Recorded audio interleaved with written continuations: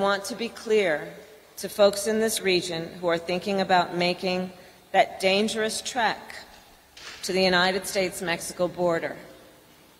Do not come. Do not come. The United States will continue to enforce our laws and secure our border.